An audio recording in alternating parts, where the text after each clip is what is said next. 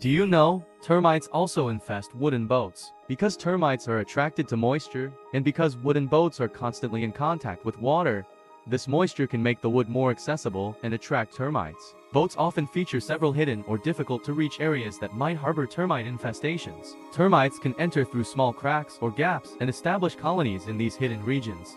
Inspect the wooden parts of your boat on a regular basis, especially the places prone to moisture, such as the hull, decks, and bilges.